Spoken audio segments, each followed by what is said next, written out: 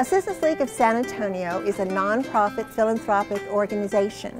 We love our community and we try to do what we can to help them better their lives. We decided to give all of the children in the school a new pair of shoes and a new package of socks. We did 560 pair of shoes is what we brought today. We love the people here, they're very positive.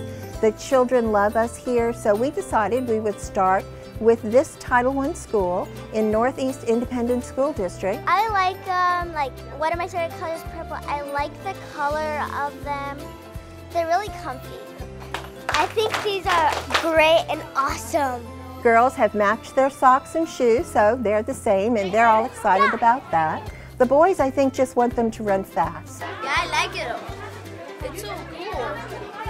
This is the very first year, very first time for this project. And the school has been wonderful. Northeast has been wonderful and very supportive. We have students here from Lee High School today who are helping us with the children. Lots of happy smiles. They're purple and pink. It's a very good experience for all of us. My new shoes! if everything fits and everything's good, we put them in a bag and send the child back to um, their own classrooms with their new belongings. I thought it was pretty cool.